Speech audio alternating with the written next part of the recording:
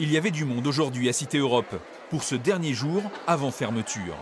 Ni les annonces du Premier ministre hier soir, ni la crainte de la Covid-19 n'ont visiblement dissuadé les accros du shopping. De toute façon, si on doit l'attraper, on finira par l'attraper. On peut pas, on- même si on reste chez nous, on peut pas contrôler Corona. Enfin, on n'a plus de vie après si on fait plus rien. Ouais, ah oui. Il faut dire qu'un nouveau magasin d'une enseigne de prêt-à-porter très populaire a ouvert ses portes ici seulement hier. Près d'un millier de personnes s'y sont pressées rien que dans la matinée. Un important dispositif de filtrage avait tout de même été spécialement mis en place afin que les clients se tiennent à bonne distance dans la file d'attente. On a fait un petit peu la queue devant, à l'extérieur, 20 minutes. C'est euh, raisonnable, ça va.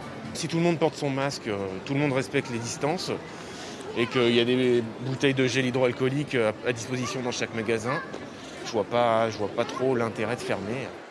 Eux aussi se seraient bien passés de cette fermeture imposée par le gouvernement. Pour les petits commerçants de la galerie, c'est un nouveau coup dur.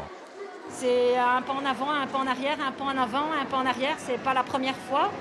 Donc euh, pour nous, euh, nous réadapter euh, continuellement, c'est très très compliqué. C'est pas agréable et c'est d'autant plus qu'on est sur une période Saint-Valentin qui pour nous est une activité importante et c'est un manque à gagner. Chez ce caviste du centre commercial, c'est un sentiment de fatalité qui l'emporte.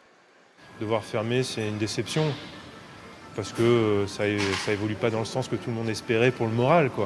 Ça, remet un coup au moral. De toute façon, on, on sait que c'est quelque chose d'avant confinement. Donc euh, c'est limite, on est partagé entre deux eaux. Euh, euh, mettez-nous la sauce ou la mettez pas. Euh, voilà, on est un peu le cul entre deux chaises.